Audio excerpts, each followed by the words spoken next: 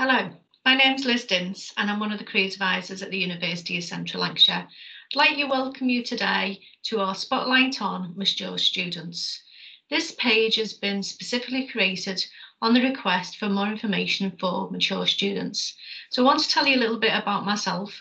So um, when I was in my 20s, I uh, went to university doing a fashion degree and dropped out um, as I went through my life, I returned to education in my late 30s and uh, had a very long stint of study doing my cert ed, a top up with professional degree in education, and then finished finally with a PhD. So I spent 10 years in total studying to get to the point um, where I am at the moment with my PhD.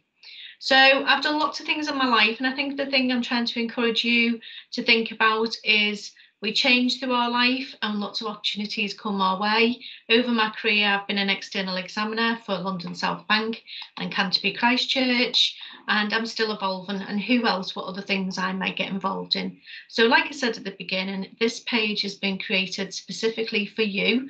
We've got some really interesting content for you to look at to help you. And as a mature student, we class anyone over the age of 21. So on the page, there's a variety of resources. We've got information on study skills, we've got case studies, we've got a section on career planning. So that's there to really help you think about your career change, your career planning.